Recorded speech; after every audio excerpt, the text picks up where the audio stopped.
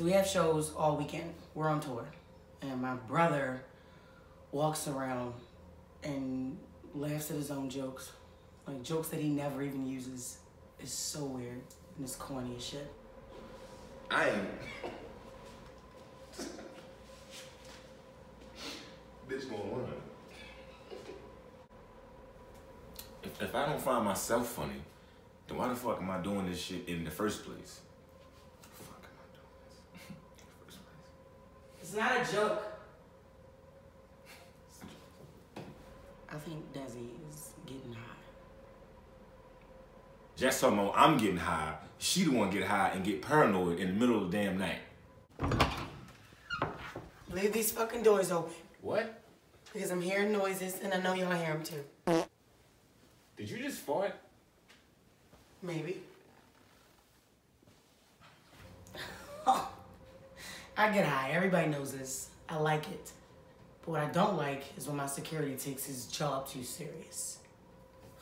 they can't read, they can't talk.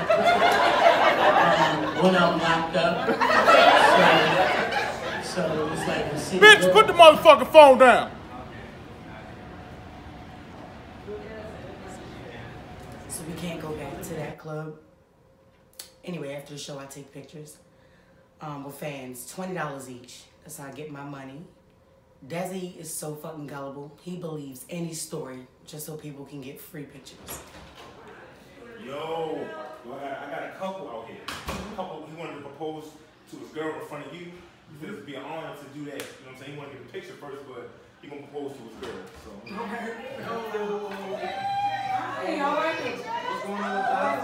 Yeah, my lady trying to get a picture with you and shit, man. Okay, that's cool, that's cool, that's cool. Man, she been asking about you all damn day. Oh my god, what damn nerve? He said he was gonna propose to his girl. You know what I'm saying? And he needed thirty dollars. And his mother had cancer. Shit. Yeah, so put this on the portrait, man. Yeah, let me hop in real quick. Beautiful, man. Love beautiful, man. So you know, just be in love, man. There you go, my man. Man. Hey,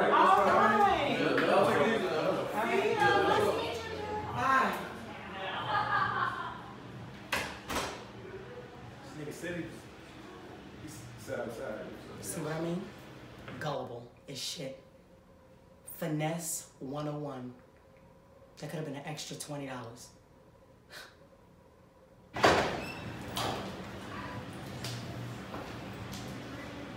He is not in charge of pictures no more.